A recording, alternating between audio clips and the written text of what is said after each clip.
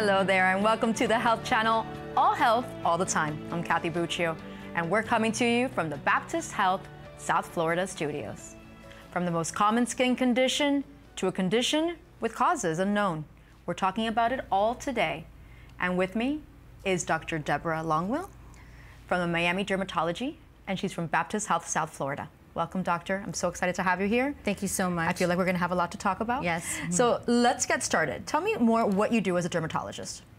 Well, I, I've been practicing over 25 years, and I take care of medical and cosmetic conditions of all types of skin issues, mm-hmm. um, whether it's an acne condition or skin cancer or cosmetic for wrinkles and damaged skin from the sun. So basically, you're kind of a little bit of a magician too. yeah, a little bit of that. So let's talk about the most common skin condition and acne, because so many people get acne in their life. I'm being one of them as well. So why is it so common? Um, acne seems to be very common because of the condition with your hormones right. and your environmental influences. I'd say in my experience that if you don't have acne as a teenager, you're going to probably get acne as an adult. Oh, so um, you can get it still adult acne. You can maybe not have it as in your youth, but you can? It, it, yes, it, okay. it, seems that way. Um, whether it's in a hormonal acne that you're getting around the jawline, or cystic acne within the cheeks, or comedonal acne, mm -hmm. um, about 80% of, of people 11 to 30 have acne. Um, and then as you're 30, they get an acne type of, like a rosacea possibly. Right um, which is an environmental or hormonal situation, or just an actual hormone acne when it happens just because you're going through menopause or andropause. Now, we're going to talk more about rosacea, but first, let's talk about the different kinds of blemishes that you can get from acne. And personally, I had cystic acne. Mm -hmm. And you just mentioned cystic acne when I was in maybe 16, 17 years old. And, you know, when you're a teenager, it's it's the end of the world. So talk to us a little bit about these different types of acnes that we're seeing on the skin. Well, you have um, blackheads and you have whiteheads, um, papules and pustules and nodules. Um, this is a, an example of their skin with a whitehead and the oil, and the bacteria okay. develops into the, the gland, and if it's not touched, it could stay just like a whitehead and then resort back down. But if it gets aggravated, then the bacteria goes in and causes a lot of inflammation. Right. If you pick an acne, then it could actually rupture a quarter out, and then three quarters ruptures under here. The body sees it, it doesn't need it anymore. So you're actually making it worse when you... And, and then a small little white bump turns into a big red area, and then you can actually damage the collagen and then get some acne scarring um, that can occur here.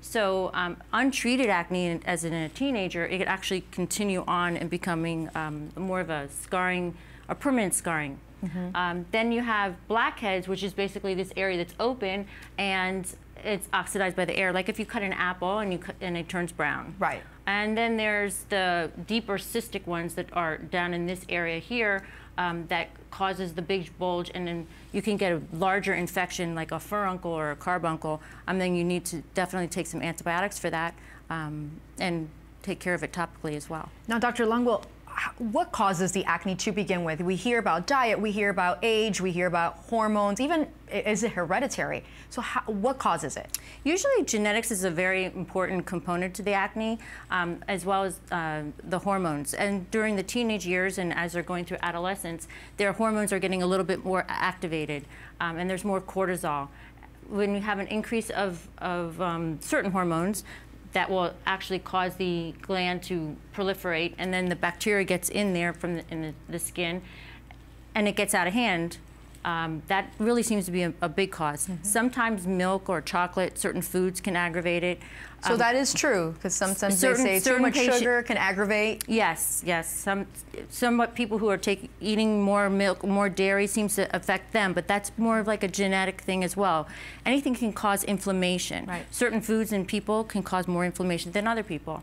Um, also, if you're in like more humid climates, then you're sweating more and the more of the oils, and then your your skin can get clogged. Like South Florida, you mean? Yes, just like South Florida. like South Florida. So cleansing is really important. Right. Um, and as well as putting topical treatments that can aggravate the skin um, and clog it and just manipulation. Like if you're using your cell phone constantly on your face, you can cause, you could just imagine a cell phone being pushed down on this, pas this pustule, pushing it down and causing more oh, of an inflammation. Producing more of that mm -hmm. oil and just think well. of one, not only one, but multiple multiple, we don't want that. Mm -hmm. So mm-hmm. thank you so much for that explanation, Doctor. We'll have you come right in. And there's actually a common areas for acne, correct? I mean, there's certain parts of the body that you're more prone to see this acne at, and we, we have a list. Can you talk to us a little bit about that? Well, um, typically uh, we see it on the face. Uh, if patients are having, like they're exercising or working out, um, there could be on their chest or back if they're using perfume in these areas um, or cologne. They also can break really? out. Really? Okay. Um, I've seen patients, you know, in their shoulders. It's in areas where you can touch. If you start touching and playing with it, it aggravates it. Um, so there's an area on the upper arms. Patients think it's acne, but it's actually a type of eczema called um, keratosis pilaris. Okay. And commonly patients pick it, and then it turns into a, an irritated acne bump, but it's really a condition that's related so to eczema. more. Mm -hmm. Yes, okay. And then the buttock, um, from sweating or wearing your workout clothes and not changing. Mm -hmm. uh, typically, um, we see acne in those areas, the face and the neck, the back, chest. Now, is acne more prevalent in men or women? Well, it seems to be more prevalent in men per se, um, the cystic one, um, okay. um, causing more of a scarring type of acne mm -hmm. because of the, their hormones. However, the um, women are definitely complain about it more because they're using a lot of makeups and creams and things like that can clog it. But um, on, on average, adolescent-wise, it's more male. Wow. Okay, I want to get into the acne scars mm -hmm. because I think that's really important. I know for myself, I, I can't really tell right now because I have makeup on, but I do have some leftover acne scars from that cystic acne, and I'm always looking for ways to treat it, to minimize mm -hmm. it. Mm-hmm. So how do you treat it, and what are acne scars? Let's start off with that. Well, the acne scar is an area where the acne has gone down into the, the dermis and causing more of a damage or um, in the collagen that was not able to repair itself, right. so it's causing an indentation we would like to try to treat the acne before it gets to that point. So by taking, giving oral antibiotics, topical treatments, um, lasers, uh, IPLs, things like that to mm -hmm. help mm-hmm. prevent the depth of the okay. cystic acne. If it happens that you had a cystic acne and you didn't pick it, it just happens that the acne right. healed that way. Then we have lasers to help build collagen, which is like a vascular mm -hmm. laser. We have Fraxel, which will um, iron out the, the scar actually stimulate collagen. Right. We can fill with fillers with like hyaluronic acids. Um, and also there's um, threads that we can pull and stretch. As time goes on, your skin gets more lax and we could pull it back. Right. Um, so, and then there's also um, mild peels like glycolic peels or salicylic acid peels. Microneedling now with mm -hmm. your PRP, um, which is your stem cells with growth factor, to put on top of the skin to help mainly build collagen to uplift that dermis so your scar isn't so indented. So it creates sort of uh, the injury, correct? Is that how it, it, works with the with the microneedling and the PRPs? They create sort of injury so your body produces that collagen? Right. It's all about little micro controlled injuries so that you get a better collagen base and it, it, improves the scar. Now, when you have a patient come in with acne, which I'm, I'm sure you have many, how do you determine how to treat that acne? Well, it's based on the I, I look at the patient first, and then I try to figure out what their would their environment is, and if they're able to swallow antibiotics or need if they're actually going to wash their face twice a day. Mm. And then we, we work together and work with the parents. Um, then I also teach them how to wash their face, make sure that they're doing a good cleansing with a good product like benzoyl peroxide or salicylic acid. We also use topical treatments. I have right. to be realistic. If, the, if I see a teenager that's not going to be using a product, then I have to pick, I choose one thing so they can do it just at nighttime. But is it more, is a topical or an oral medicine more effective than the other? Depends. Or? Sometimes I'll put them on the oral medicine because I want to get a jump start okay. and then keep them on topical to maintain it. Okay. And that, that's also determined by age and like you said, you have sort of like an individual you kind of figure it out what you yeah. what you need. Now I know there's some medication. I remember growing up, uh, one of the ones they would give you was Accutane, and Accutane is really effective when it comes to treating a severe case of acne. Is, is that still used or? Yes, Accutane um, is a wonderful medication for patients that really need it and to prevent the scarring. Um, it helps prevent that indented scarring that patients have right. difficulty treating. Um, not every patient is a candidate for Accutane because it is six months of taking the right. medication and there are lots of side effects if we know that the patient um, is a possible drinks or has some issues at home um, that would not be conducive for them to take right. the medication. we I, I, have to be able to trust that patient Absolutely. to take the medication. Um, then I would give them the medication if it's if they're warranted. Uh, it, it works great. They'll after six months, the patients never have an, another pimple usually. Wow. Um, and then we can work on the scarring with types of lasers that are non-invasive. Home remedies. You know, you're always going to get someone at home that they read something. I mean, at least for me, was a egg white mask. You put egg white on your face, it's going to help your acne. It's going to go away. Do home remedies work? So, um, you know, some people use toothpaste. I've had patients come in, they've used um, lemon or honey. Um, they're in the office now seeing me for treatment. So I guess it, it, does temporarily help. Right. Um, there really isn't a complete cure for acne. It's more controlled anyway. So. So there's it's not a way to prevent it. Right. You're going to have acne if, if you're prone if, to it. If you're prone to it, then you also have to avoid what's causing it. Right. All right, this is so informative, and we have so much more coming up. A common skin condition that can affect anyone. We were talking about rosacea. And later, how to manage aging skin. You're watching the Health Channel on South Florida PBS. Don't forget to give us a call at 855 796 4475. Also, follow us on social media at All Health TV and visit our website, allhealthtv.com, so you can submit questions for the experts like Dr. Longwill and watch videos from previous episodes. Don't go anywhere, we'll be right back.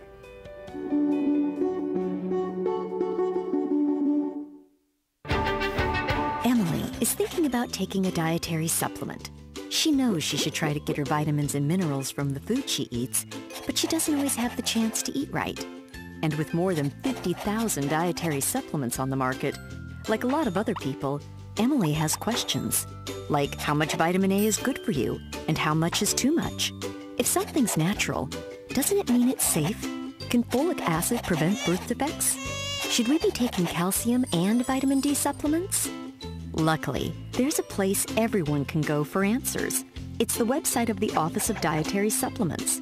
We're part of the National Institutes of Health, and since 1995, we've been conducting, funding, and evaluating research that we use to educate the public, giving Emily plenty of information she can share and discuss with her healthcare providers. We're ODS for what you need to know about dietary supplements.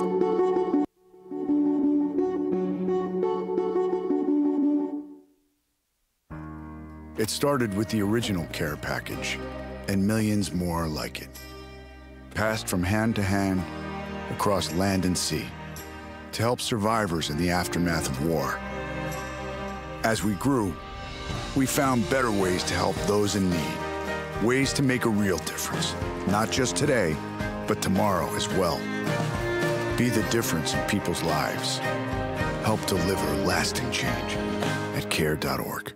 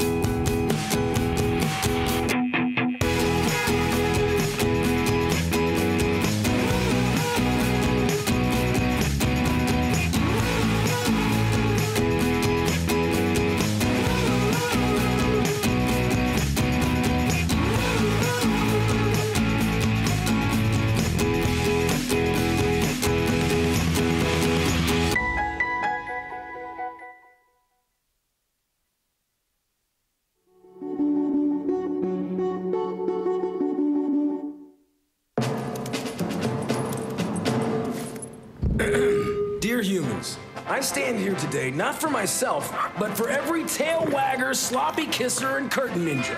I stand here for each one of the nearly 4,100 dogs and cats killed in shelters each day, asking you to join our cause and help us make sure every best friend has a chance to meet one of their own. With Best Friends Animal Society leading the charge and your help, we can save them all.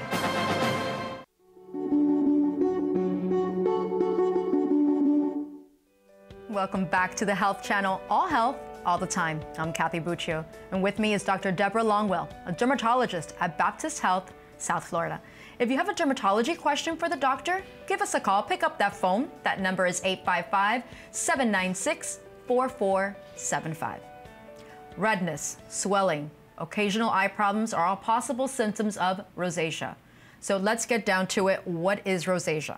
Rosacea is a type of adult acne with redness, swelling, itching. Um, like patients get that dilation, of the blood vessels, broken capillaries. Um, they feel oily, but they're dry. There's actually ocular rosacea too, where you feel like you have gritty sand in your eyes. Um, certain things can trigger it, like foods and um, different things that you wouldn't even think about. Right. And now you, you talk about eyes, so it's part of rosacea. Is it, you feel like kind of an irritation? Is yeah, you it? feel like sand, gritty in your eyes. Mm -hmm. They're constantly red. Um, you might go to the eye doctor and they'll say blepharitis or ocular rosacea. And it's treated um, similarly with, with um, the same products that we use, which is usually an antibiotic called doxycycline. Mm -hmm. And then there's a time-released doxycycline called Oracea, which is a 40 milligram dosage so it doesn't act as an antibiotic, it acts more like an anti-inflammatory. Got it. Now, there are symptoms to rosacea, and that's the good news that we, you can be able to see it and treat it.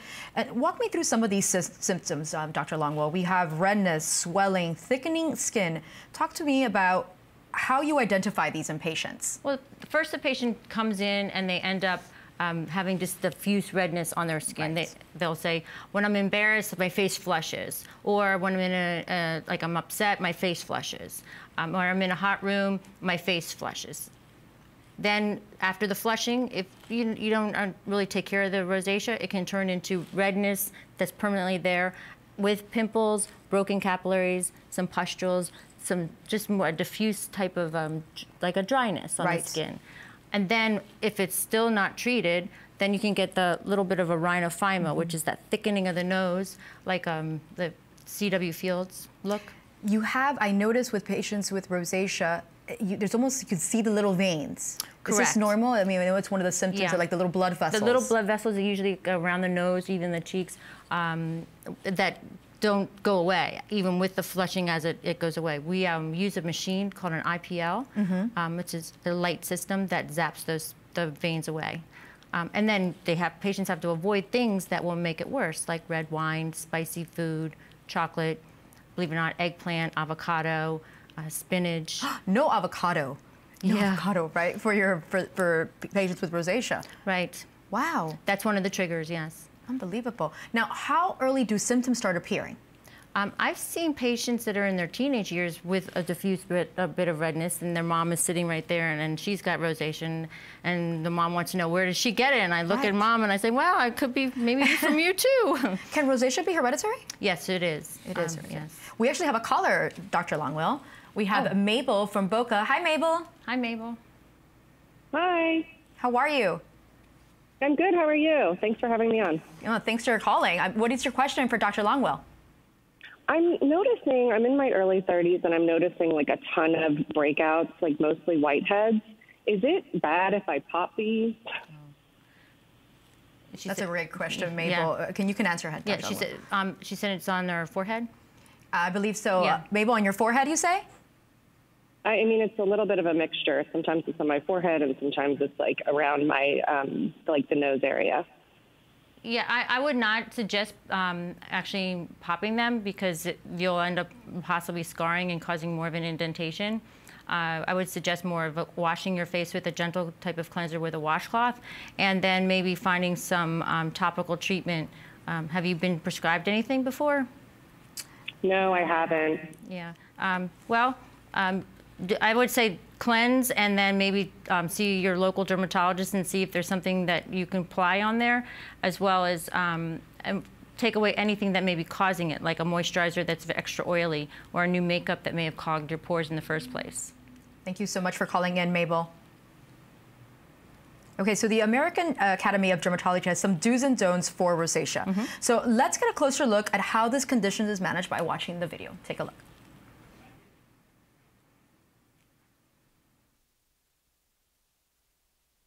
Rosacea is a common skin condition. It often begins with a tendency to blush or flush more easily than others. Over time, redness may become permanent. To help manage rosacea, dermatologists offer these tips.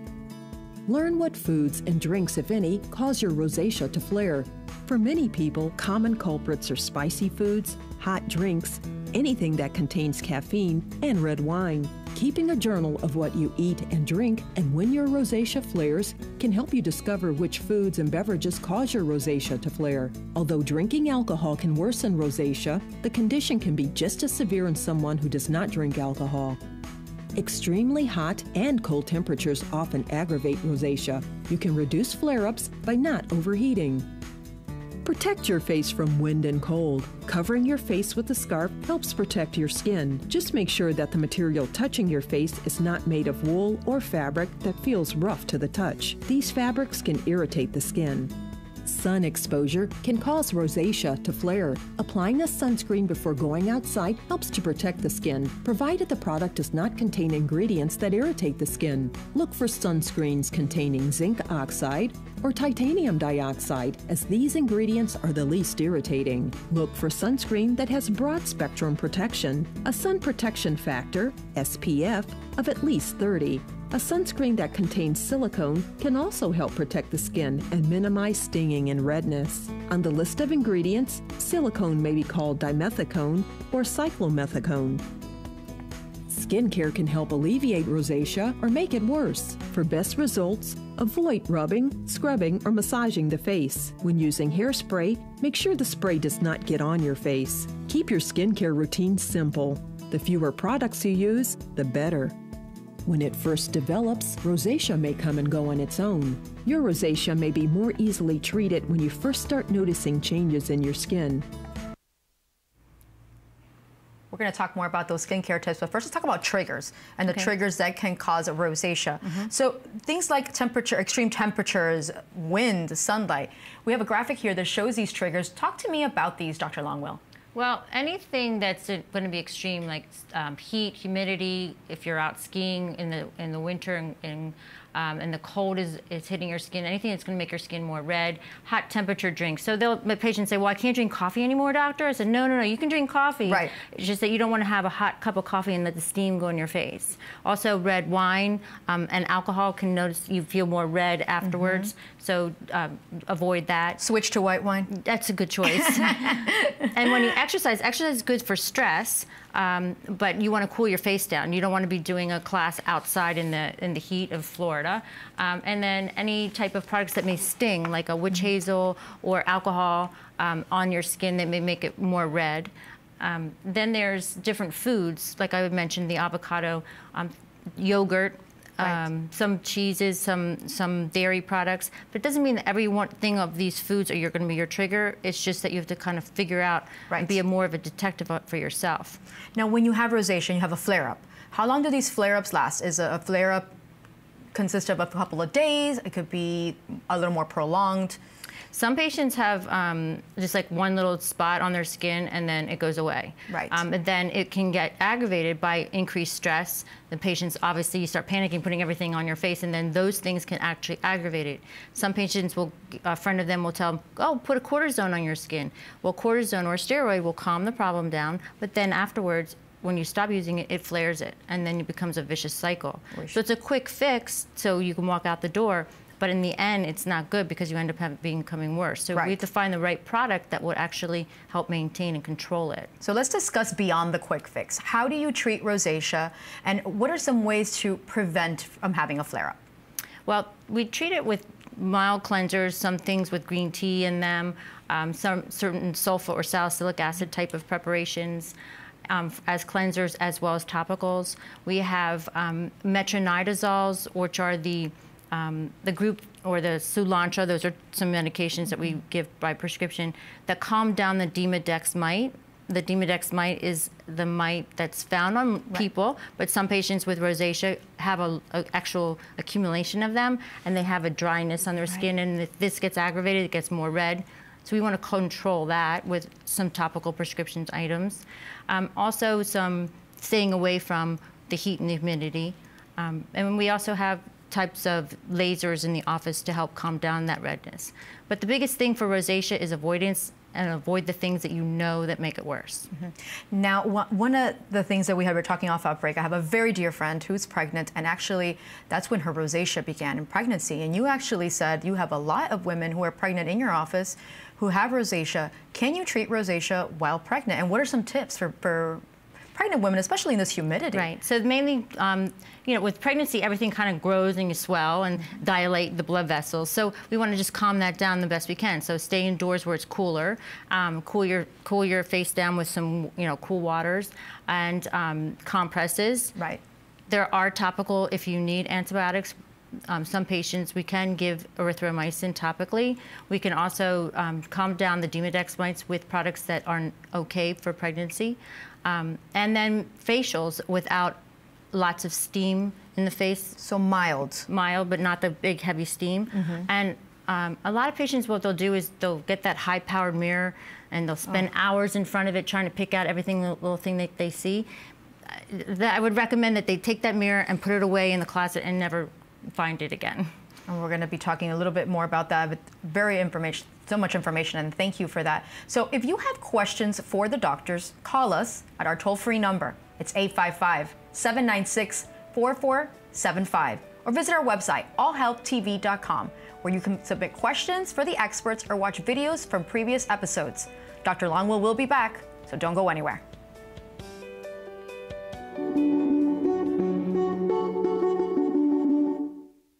1945 to 1965. People born during these years are five times more likely to have hepatitis C, a leading cause of liver cancer. And people can live with hepatitis C for decades without any symptoms. The good news? Now, treatments are available that can cure hepatitis C. So if you were born from 1945 to 1965, talk to your doctor about getting a blood test for hepatitis C. It's the only way to know.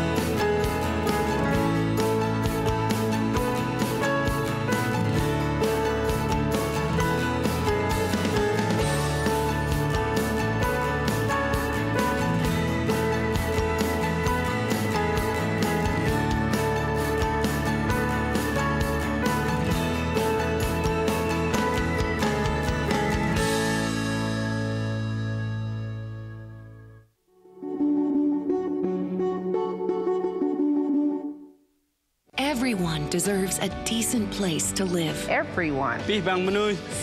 When a future homeowner partners with Habitat for Humanity to build or improve a home, they build a better future for themselves and their families. For my family. For my family. For, for my, my family. family. With a little help, we all have the potential to stand on our own. Potential. Potential. Potential. Visit Habitat.org to provide help to families like these today.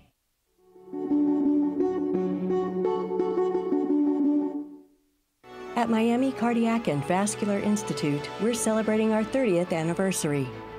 30 years of pioneering minimally invasive techniques. 30 years of hard work and dedication by our top tier leadership and world renowned physicians and clinical staff. Creating a world class comprehensive heart and vascular care center unlike any other. Committed to our guiding principles of outstanding quality care, continuous innovation, and a drive to save lives. Three decades of excellence are the foundation for our exciting new expansion. A state of the art facility, a first in the world environment, with the latest technology. Recognized as one of America's best hospitals. We're proud of our history and committed to providing the best care today and in the future. We are innovators. We are leaders. We are Miami Cardiac and Vascular Institute at Baptist Health, South Florida.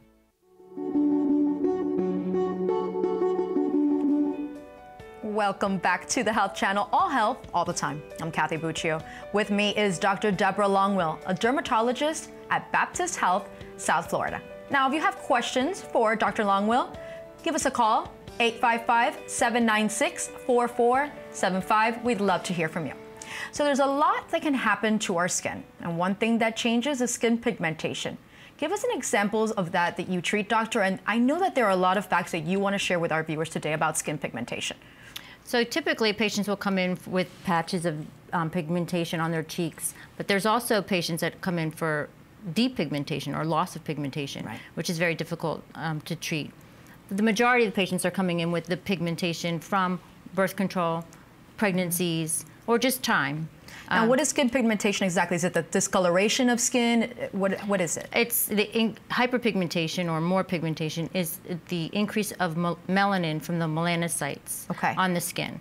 And it's usually on topical areas of sun exposure, around the forehead, uh, on the upper lip after waxing, okay. um, on the cheek area from birth control, in this area of the chest, because you're driving your car, you don't realize you're getting sun on your chest.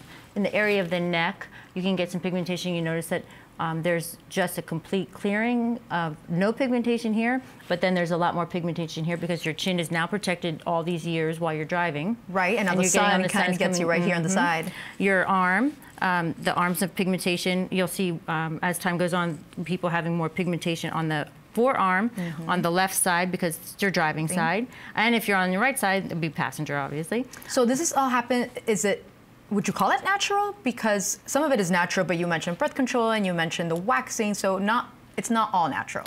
Well, it's it's influenced um, by sun exposure. Okay. So if you look at um, patients have worn a one piece all their life because you know we mm-hmm. do body checks for skin cancer in the office. Right. And majority of the skin cancer is on the arms and, and or in the face and the legs. But if they wore a shirt or or bathing like a one piece bathing suit, that skin is creamy white and not one spot. Right. So sun does induce the pigmentation. Now, what are some different ways of treating skin pigmentation? Um, well, if a patient's coming in for the patches where we call the mask of pregnancy, mm -hmm. um, we actually have to use topical treatments. Um, going easing into types of light peels, light laser, because if we do too much, uh, too, too, if we're not if we are too aggressive and we actually cause more inflammation, the patient will um, cause more pigmentation afterwards. Wow, um, okay. And then not to forget to wear sunblock all the time. You're never out of the woods with the pigmentation. It's always going to be with you.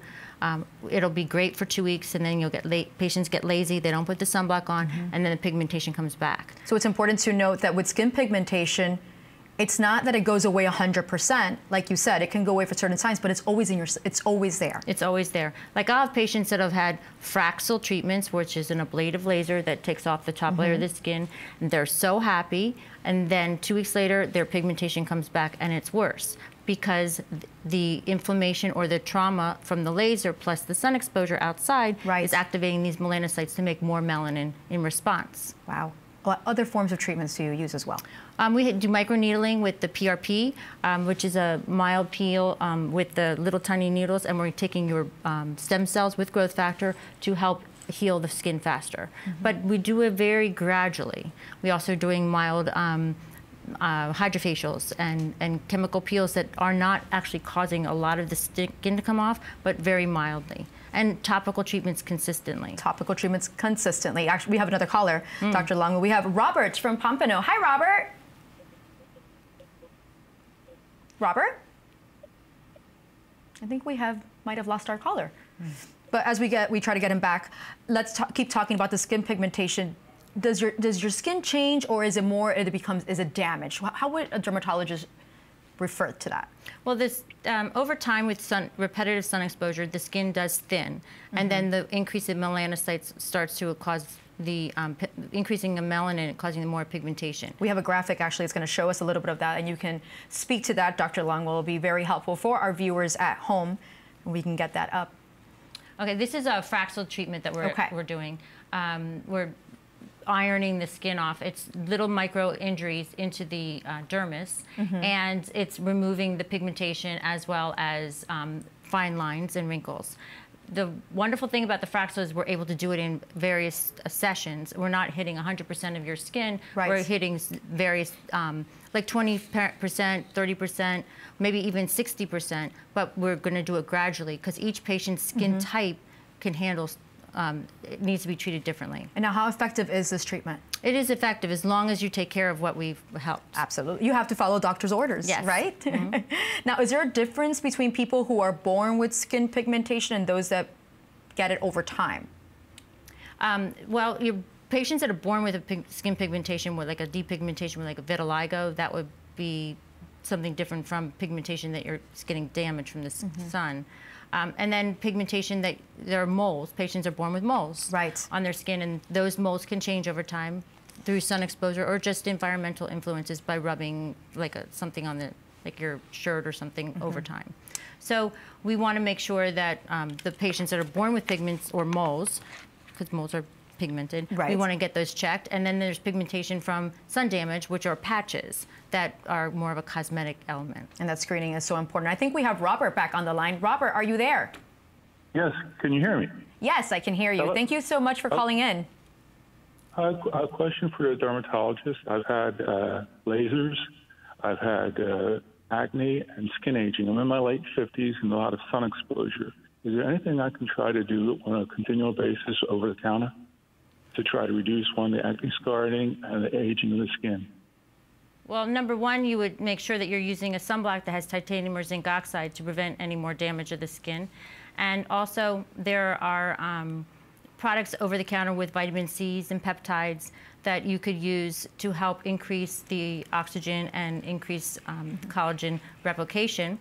And um, being using gentle cleansers um, as so you don't want to cause too much irritation anything that can help acne scars over the counter, or is that something more they need to see a dermatologist for? Probably more for a dermatologist because the, the, depth of the acne scars um, are fairly deep in the dermis and need probably a filler uh, treatment or continued lasers to the specific spots.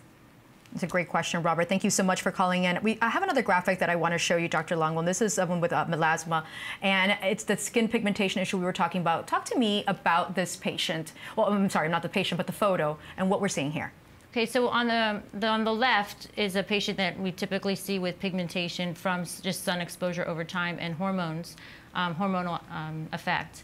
And it's so difficult to treat this. We use topical treatments that have hydroquinone and without hydroquinone. Um, this patient would probably be using something without hydroquinone um, on a regular basis with the titanium or zinc oxide sunblock. And then the um, on the right, it's kind of depicting and showing you just like what the skin looks like, and then the pigmentation um, is showing like a little bit of a level on the epidermis. If you have pigmentation on more superficial, it's a little easier to remove right. like your microneedling or microdermabrasion. But it, usually the pigmentation is fairly deep, and that's where um, we have more difficulty, mm -hmm. where you have to continue using a retinol or retin A. Um, if, and also vitamin C's, mm -hmm. lighteners that don't have um, the hydroquinone for long term. You mentioned retin A, retinol. I think this is something that we hear often, that mm -hmm. word. What is it? It's a it's a type of, we were talking about with an Accutane, like mm -hmm. a mm-hmm. vitamin A, and it helps with building collagen and and cell turnover. Um, as long as we have continued cell turn turnover, we're able to and we're generating new cells. We're able to bring that other pigmentation and off, and then we'll also be able to increase the thickness of the epidermis, so you have more youthful skin. Now, it's important to mention that sometimes skin pigmentation issues can mean other health issues. Is this correct? Is it something tied into mental health issues? Um, well, pigmentation, um, we, you can have pigment, increased pigmentation uh, on the back of the neck, um, in, in the areas of, of, the axilla or in the groin, and that could be from um, just like if you're a little overweight and rubbing, or it, can, mm-hmm. uh, it could be significant for a thyroid condition right. or diabetes. Um, and that's also a genetic condition, um, which you would want to check. Now, what about sun sensitivity?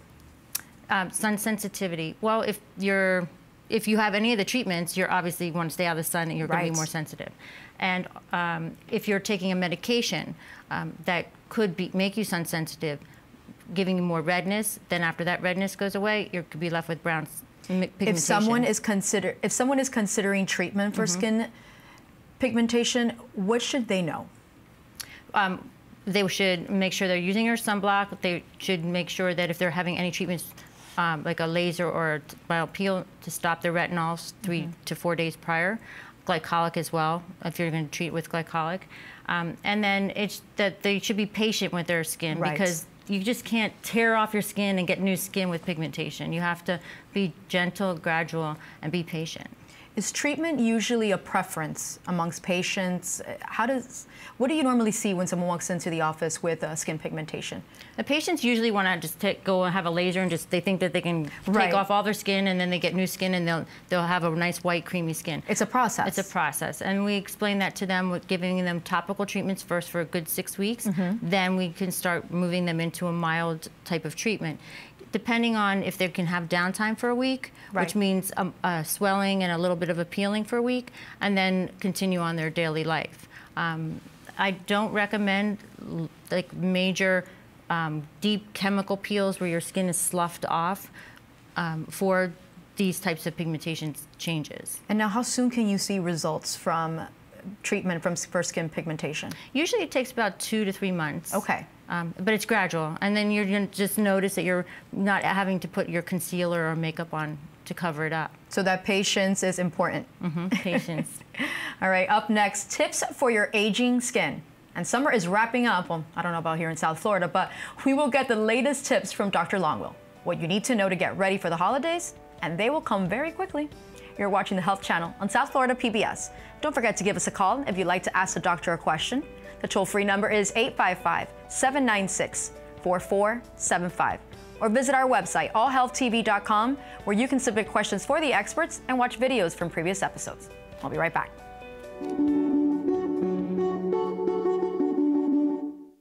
Wonder if you should get tested for colorectal cancer? Is it really that common? It is. It's the second leading cancer killer in the U.S. I don't have symptoms. It doesn't always cause symptoms, especially early on. And screening helps prevent the disease. Oh? How? By finding precancerous polyps so they can be removed. But that test. There's more than one screening test. If you're 50 or older, talk to your doctor about which one is right for you. Colorectal cancer screening really does save lives.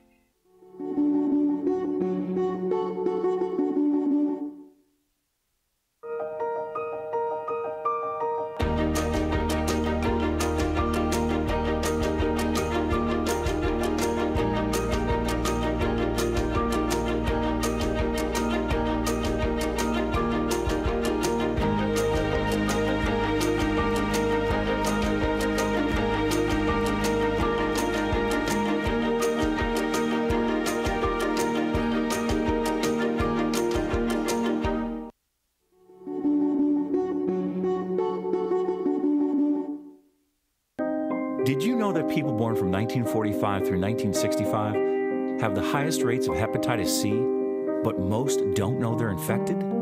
People can live for decades without symptoms, but over time, hepatitis C can cause serious health problems. If you were born during these years, the CDC now recommends that you get a blood test for hepatitis C. So talk to your doctor and find out if you have hepatitis C. It could save your life.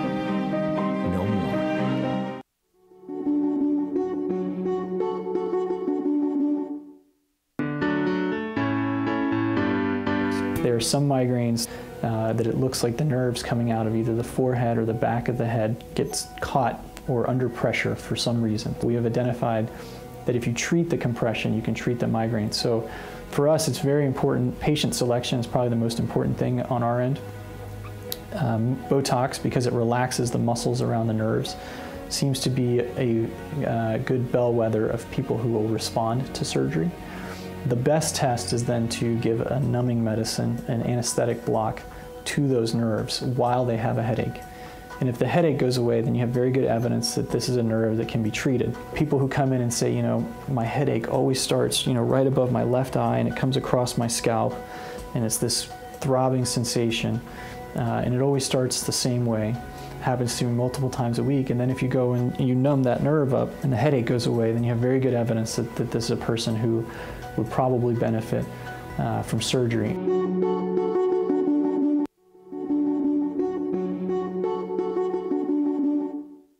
Many websites selling medication may look professional and legitimate. But the vast majority of sites selling prescription drugs are doing so illegally. Criminals use websites to sell counterfeit medications that may contain life threatening toxins. Dot Pharmacy is a website verification program that helps you identify safe and trustworthy online pharmacies. Purchasing medicine online can be safe and easy. Just look for pharmacy to the right of the dot in website addresses.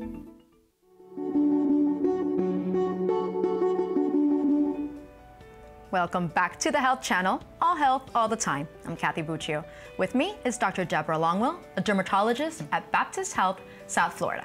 If you have questions for Dr. Longwill, give me a call or give us a call. The toll free number is 855 796 4475.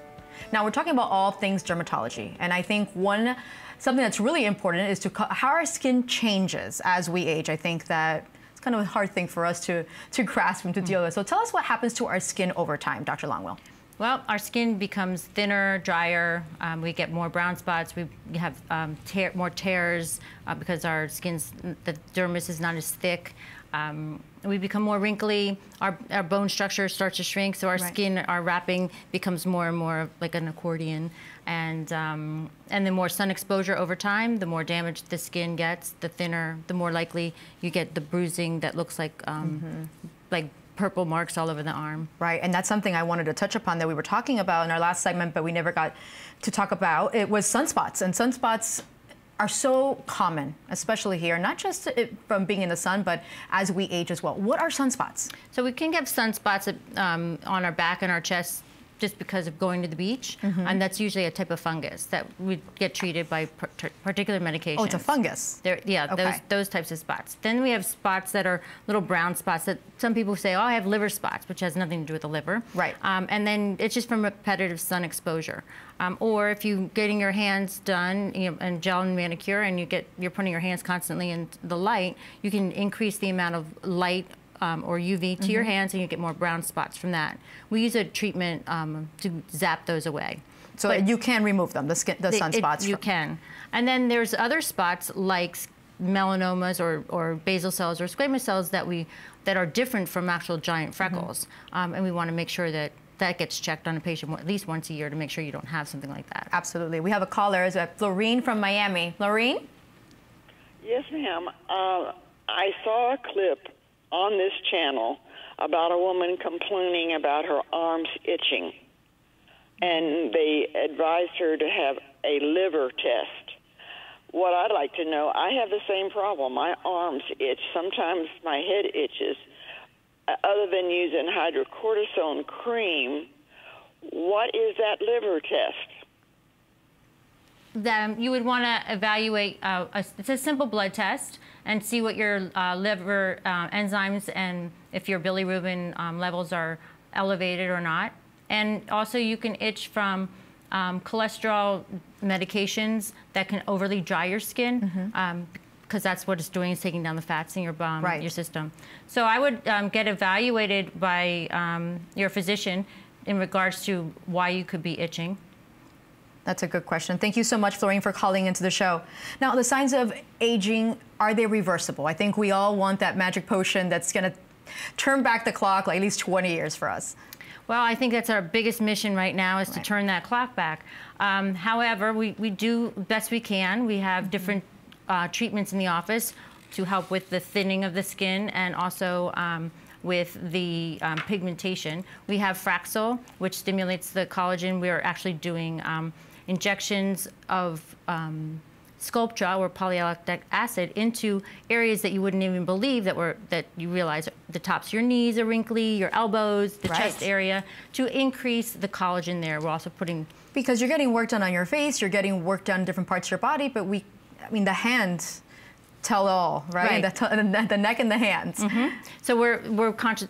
Patients are now we're injecting products into the hands to increase the volume, to so you don't have to look so bony and mm-hmm. um, hide the veins. We're taking care of the superficial aspect of the skin with the Fraxels, IPLs, topical treatments with retinols and glycolics and vitamin C's, lighteners. Um, same thing for the chest and the neck. It's and also protecting from the sun, so you're not you're not uh, damaging what you're, Right. you're trying to improve. I know there are preventative measures. We have a graphic that gives us some tips of how we can slow down or better the aging process. Mhm. Can you walk us through some of these, Doc? Um, well, self tanner. Um, that would so you don't have to feel like you're getting tan all the time. Mhm. And it's obviously smoking. Smoking is a real problem because it's basically choking off all the oxygen supply to every part of your body. Um, it gives you that dull-looking skin as well. Yes, it's and it's just it's a lot of bad chemicals that your body's uh, not able to tolerate. It's all Mhm. poison. And then um, the repetitive facial expressions, like if you're constantly moving or frowning, um, that's what we use Botox for, so we don't show concern. Uh, eating healthy and well-balanced diets that have uh, a lot of uh, fruits and vegetables Mhm. for the antioxidants. Drinking less alcohol because that also is increasing your sugar level, and the sugar is causing more inflammation, which uh, damages um, Right. your body and exercise um, most of the days by doing whatever you can between yoga or walking or exercise um, um, by increasing your lymphatic flow and bringing more blood supply to your every part of your body cleansing gently um, you don't remember your skin's not the pot, bottom of a pot where you have to scrub it down and um, washing your face twice a day and sweat heavily. Um, you want to just make sure that if you whatever your um, whatever activity you're doing, you're taking the, that um, you're cleansing gently and getting rid of the um, oils and the pollution away. Um, moisturize daily, but if you're going to use a moisturizer during the day, make sure it's not too oily for your skin type. And that it has sunblock. yes, it has the sunblock with the titanium or the zinc. And stop using skin products that sting or burn. Anything that irritates your skin causes more inflammation, and that's not good for And you. And sometimes people think the opposite. If it's stinging, it's burning, it's working. No, it's not. If anything you use that stings or burns, discontinue. So how much how much can following tips like these reduce or slow down the aging process? Well, the aging process um, is genetic, and um, the environmental influences between the pollution, the um, sun um, environments like real extreme cold or extreme hot, um, and also getting enough sleep. If you're, uh, you know, up all 24 hours, that's going to continue to make you age. So.